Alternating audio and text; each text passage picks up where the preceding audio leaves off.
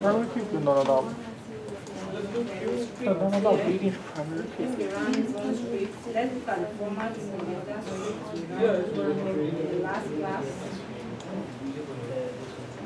I just want to copy and paste so that it's faster. Okay? This is one insert. Just copy the.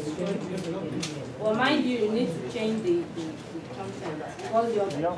table structure is different. So now I'm going to just modify to make it easy. Into what's my table name student? Then the value. I want to leave this one as the null, the first one. So let's delete this. This is what you have in your describe. You have four columns, student name, student number, student name, age, and sex. So now I just need four, four items. I don't need all the So you remove all the I need four. One. Okay, and the next one is name. So let's let's assume I'm using my own name. Let me put my name there. And what else? Age. Let's assume age is uh, let's say five. And sex, let's say female. Okay? But I'm going to leave this one as blank. I want us to test that time, uh, uh, not not constraint that we de- defined. Let's try and see if we try to put this, try and run that script. Faster than do. So now I'm trying to put record in my table into, the student table, but I'm leaving my SN as blank because I want to test this this constraint, this not null. I want to see if it will accept it. You see, it's, it's complaining about missing parameter. Okay. I think I have one strange parameter here. This one is not supposed to be here. I need just four, four columns. It should work now. But it should still give us the you see, it should give you this, you should get this kind of command. Cannot insert null into this. Because I'm trying to insert into my newly created table without the student number. So the database will enforce it because while creating, while modeling the database, you've already specified that your student number should not be blank. So it should give the user a message, like a pop-up message that you cannot leave that column blank. So there should be something there. So that if I go back and I put, le- let's assume I put a number there, assuming my ID is 100. This now should put values in my table. If you run this now, do a copy and paste. It should work. Now it's telling me one row created, you can see. Reason being that now I have value there. So that means this column cannot be null. You can't leave it blank. So that is what all those constraints do. Because at times you see people writing um, not. You don't you are you are wondering what it means. This is exactly what it means. We've tested it now. We've tested it with, without data. We left the data blank. The system is complaining that it can, you cannot insert it to the table without having value for your student number column. There should be something there. That column cannot be left blank. Now we try it with a value and it has created it. So if you do a select from your student table, or from student table. So if you give me, you can see now what, what I have here. Select all, I'm selecting all the columns from the students. I just have one record there, which is the record I just entered now. So you can see what we have there. You can practice more you, at your own free time, you practice more. The more you practice your sequel, the more you oh, get to it better. But you just leave it, you don't practice with it. You, with time, you forget. You need to master the syntax. The more you do projects, the more you go deeper in the project, you write more scripts, you get comfortable writing SQL, you can write more complex scripts. You just practice at your own convenient time. But that's basically what that not null constraint is. So let's go to the next one. So I hope we all understand how the that constraint works. The not null this one. Do we all understand? Okay, let's move to the next one. The next one is unique constraint. That one works more like primary key too. You want to make it a column. Unique. You don't want, that means you don't want a repeated value. Unique means like something like this. I want, I hope those people there are saying, like now maybe when I start, let's say my column name is SNE. When I start putting numbers there, maybe the first number is 100, then the next one is 101. I want this column to be unique. The next one will be what? 102. The next one after that will be 103. I don't want the next person to be 103 again. That is what that unique means. So if you put that constraint when, when you are designing your database, it will not allow um, redundancy. It won't allow you to put, like you want to put um, two different numbers. It won't allow it. It will, the system will complain. So that's what the unique constraint does. Unique oh, means you want the values in the column to be unique, okay? So you can practice more example with that. Try to put this constraint, create a table with the unique constraint. And try to input, maybe you input the first one 100, student number is 100. Try to put 100 again. You will see that the system will complete. Do you want us to practice it now? Or we should move to the next one? Because we have a lot to cover and there's no time. But I feel when you practice on your own, you get to understand better. So for you to practice this one, all you need to do, you create the table with this unique constraint. There's no time, I want to skip it. You create a table with unique constraint. Try to put a student record just the way I put like that, 100. Then try to put another record again, maybe with another name. Let's say Peter or John. But use the same um, student ID, put 100 there. The system should complain that you have already defined a unique constraint for that column. So it will allow you. But if you now change it to 101 or 102 or any other number, it will, it will now allow you to do better. So I'm skipping this one. Let's move to the one. The primary key, we've explained this one also, I don't need to go through that.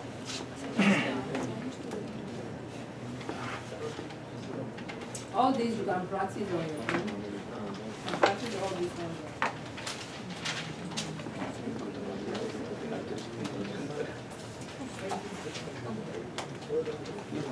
own.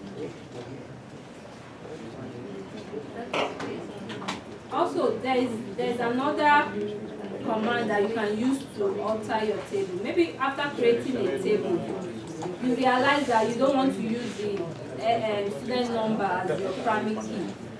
You can alter, you can use the alter table command.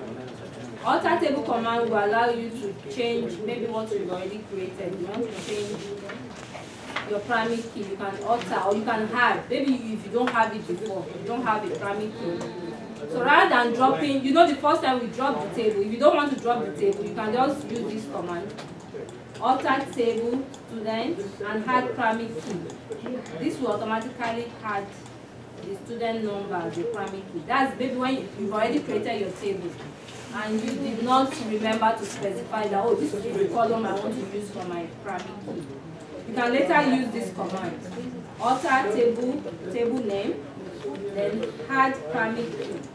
Then you put the column you want to use as your primary key. That's what this one does.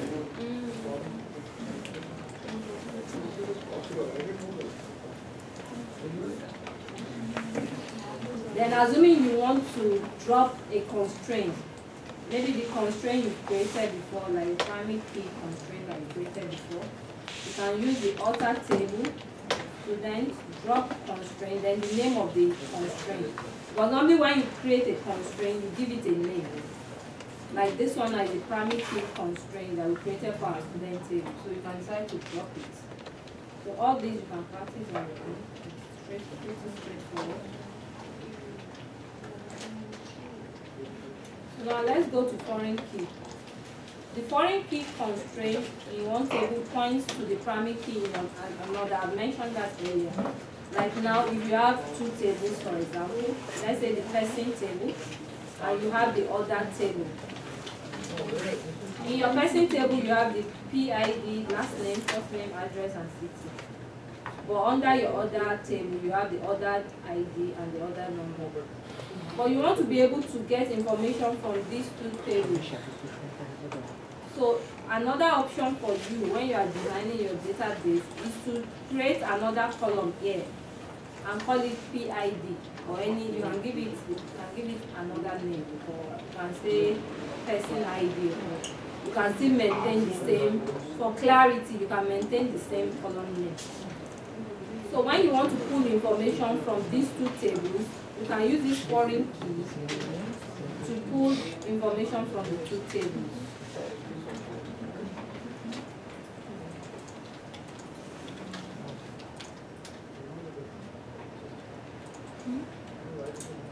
Are more examples on how to create uh, foreign key constraint. We have a lot of script so you can't really run everything in the class.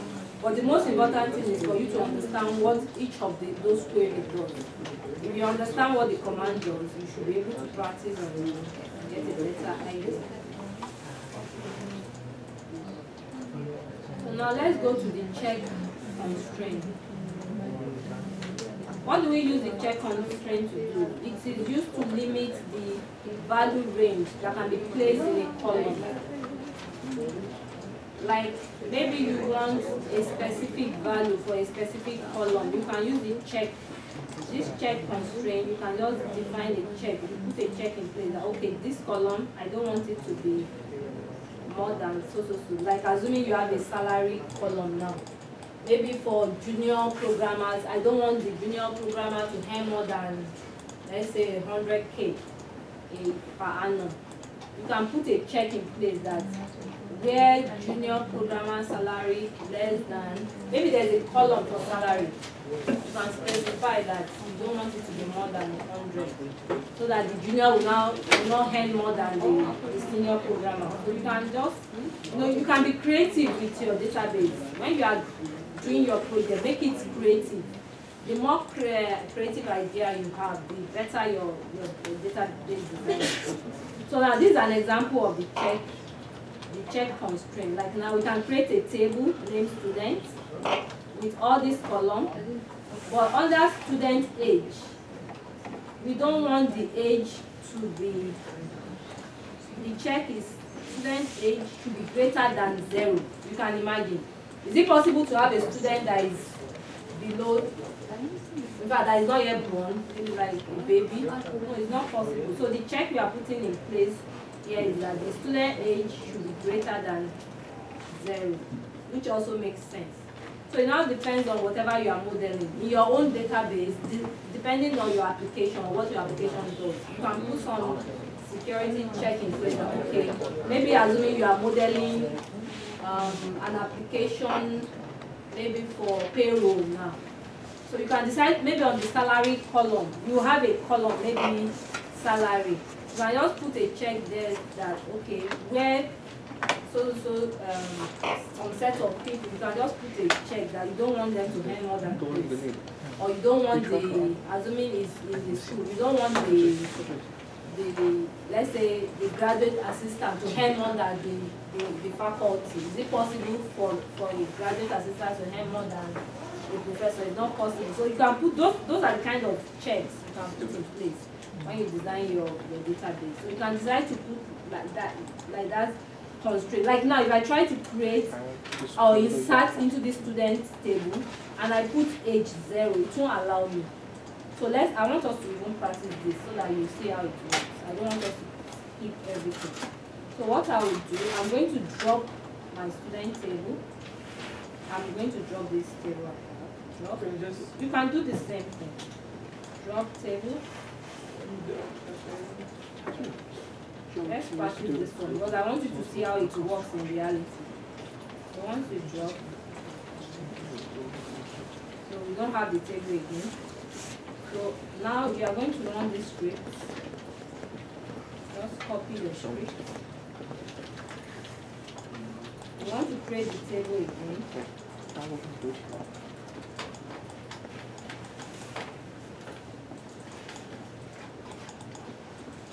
I need to remove this now.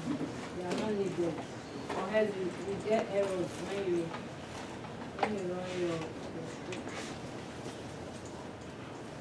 you can remove this. So this is the command, create table student with all this column. I want the student number to be my primary key. But I want to put a check on the student age. My student should, should be greater than zero. At any point, if it is less than zero, it should give me an error. So that's what we are saying. So let's test this script. Copy and paste. If you don't want to use this method, you can run your script directly. So it, ha- it told me that the table is created. Let me do a describe on it. Describe. Student. To see the data structure, you can see.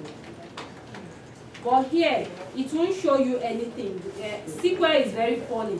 Even despite the fact that we put a check constraint here, it's not showing it here.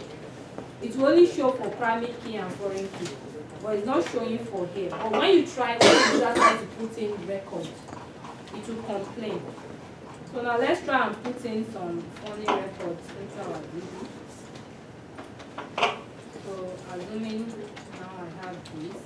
So if I run the initial one, if I try to insert, this one will allow me, right? Because I have everything. I have the number, I have my name, I have the age, and age here is not, is greater than zero, right? So this one should work. So if you run this query, it will insert something into the database. But now, assuming I now put zero here, what should happen? It should give me an error because we already put a check in place that the student, the student age should be greater than zero. So if it is not from values from one upwards, it should give me some error. Right? So let's try this. Let's try this. It should give an error and it should complain. Okay, now uh, it will, it will complain because I need to change the, the ID. So assuming I have 101 here.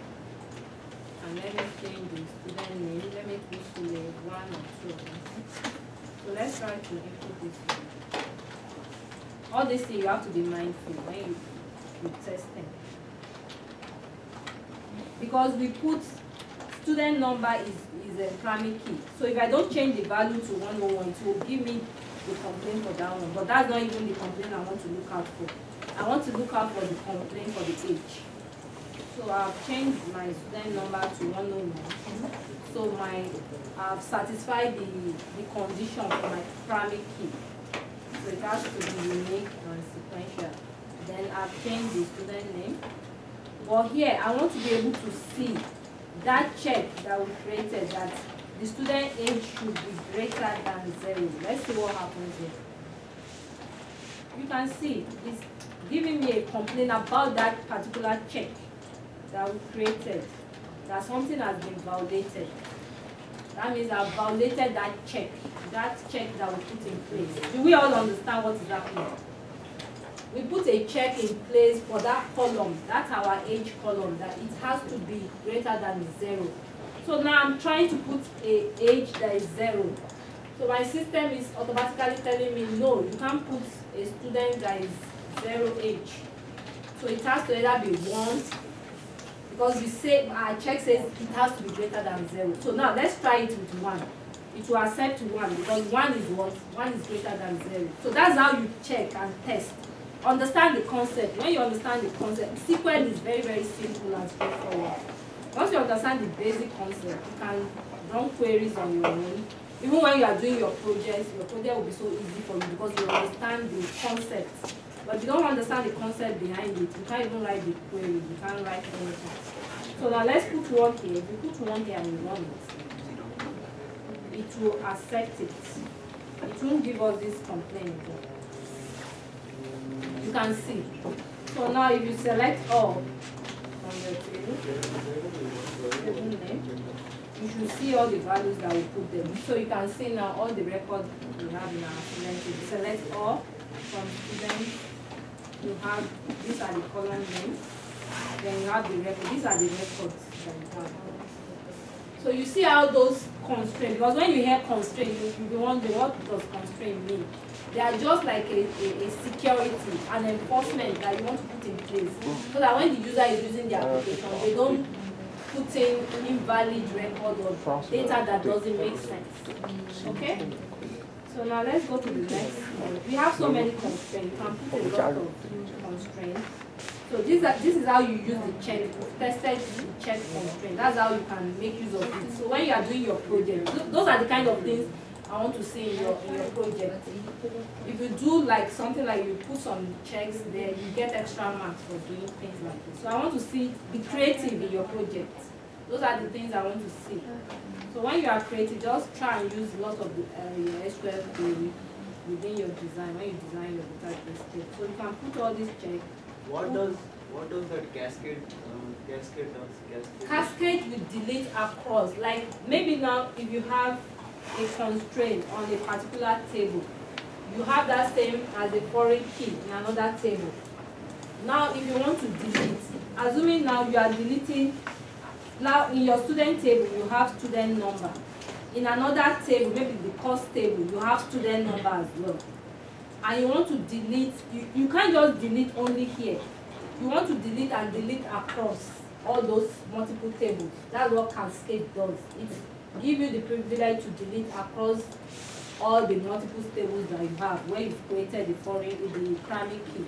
You might have the primary key in your main table, but you have it as foreign key in other tables. Or you want to be able to delete, oh, I'm deleting here, I want to delete across. I don't want to be writing delete in this one, we go to another table. Maybe you have like hundred tables. You don't want to start deleting one by one. It doesn't make sense. You should be creative. So if you use Cascade, Cascade will do it across multiple tables that you have. Just with that one SQL command, it does the job for you. So by the time you go to that table and you try to input anything, it will be showing as null. The values in that table will be showing as null because you've already deleted in the main table. Do you understand? Because you've deleted in the main table. It's just like you delete a student record. So you don't expect, like now if they delete, there's a student table, I delete this student information in this table. You should go to finance table, maybe where you have like um, student payments. Maybe there's another table payment. All the payments that you've done. It will go across and delete everything. If you have any record like student number in that in that assuming you have a column as student number, it will go to that table to and delete that student number in that table as well. So information about that student will be wiped off. Only, only the data, It, that's attribute, if you use this cascade. Yeah, the, the, the content, the data, the but value. attribute, attribute won't be. No, the attribute will be there because you don't want to delete other students' information. So the attribute will still be there for other people. Attribute is like a, I've told you, look at attribute as a data structure. It's always there, it's in place. You, you can only delete your attribute if you drop the entire table. If you drop the entire table, you drop everything. That means you don't, you don't even have the table in the first place. You drop everything, the content of the table and everything. Are we clear? Okay. Now let's go to more examples. So you can see there are more examples there. You can alter the table, drop constraint or add more constraint.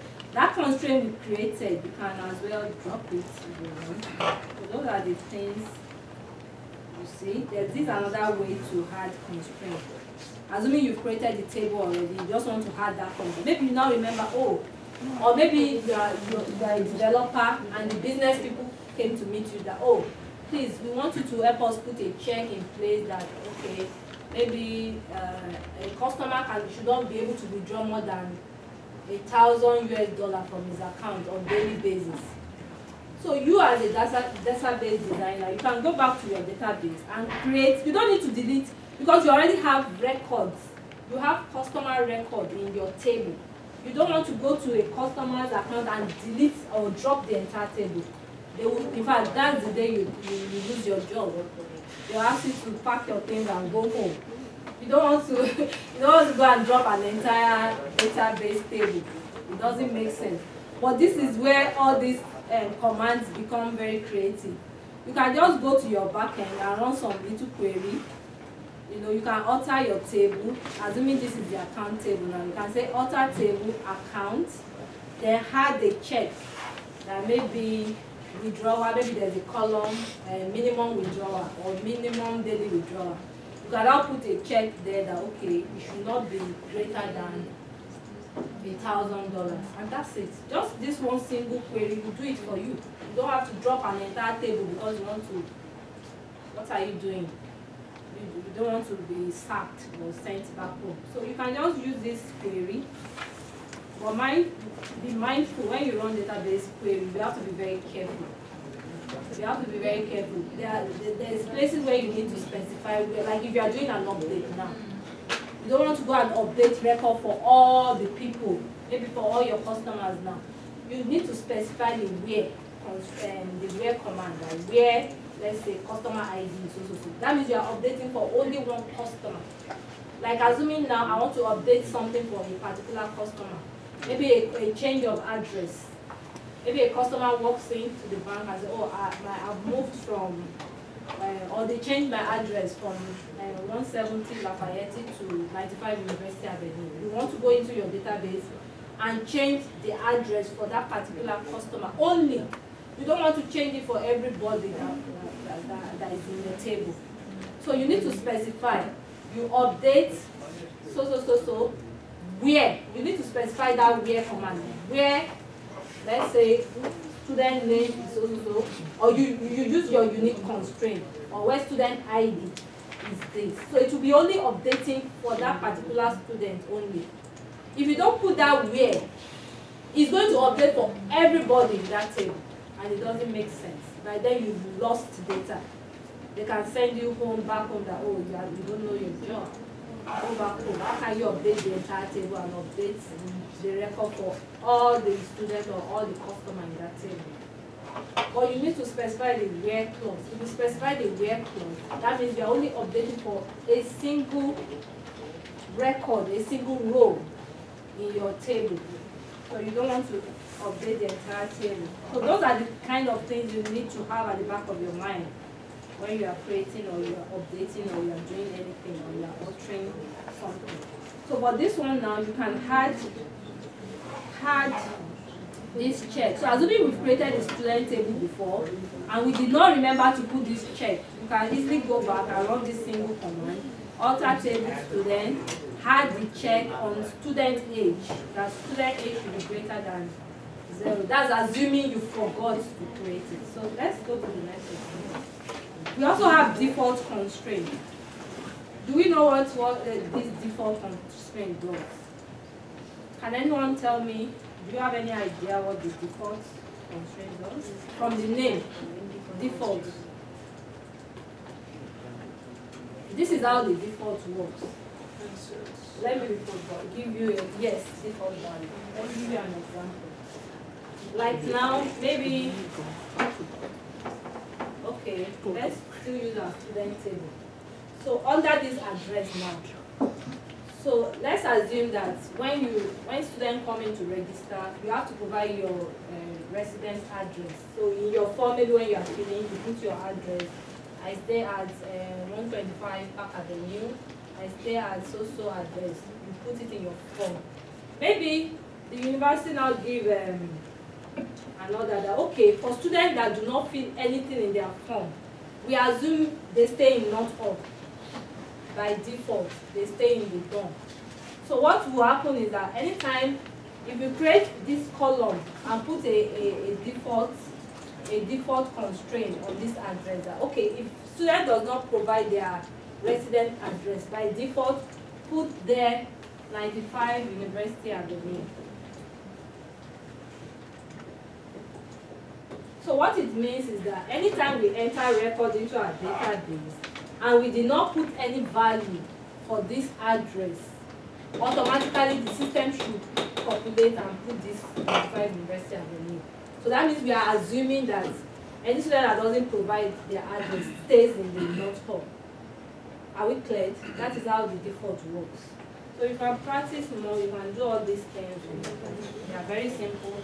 Very So all those kind of things, you can put it in your project too. like default value you want to add default. That's how the default. Can practice we have examples like that. So like this one now, the city, we are putting a default on it to be Sandnes. You can decide to put Bridgeport here. That okay, if the person doesn't enter their their city by default, you should just populate that. Oh, we assume that the person is living in Bridgeport. So you can just put default Bridgeport. So anytime the customer walks in and you don't put any city, you just assume that you are from Bridgeport or you are from Fairfield or somewhere and just put default value there. So that's how the default constraint works. You can test it, run some queries on I'm not going to do that. Also, maybe when you created the table, you forgot to put the default constraint. You can later go and alter your table. The command will be alter table name, alter table, table name, then modify the column name. Then you now specify your default constraint that you want to put on this column. So that means on city, on the column city, you want to put a default value that if the person did not enter their city, we are assuming they are from this city. Okay? That's what that um, does. So you can practice more. We have so many queries. You can practice more. Um, so we are going to continue in the next class. Have do, you, do you have any question?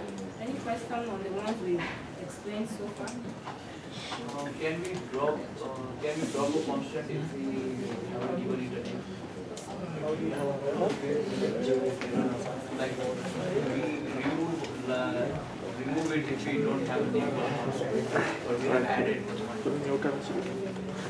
Just like you won't be able to remove it because you didn't put the name. But that's why it's when you create your, you give it a name. You want to refer back to it or you to update or delete it, you can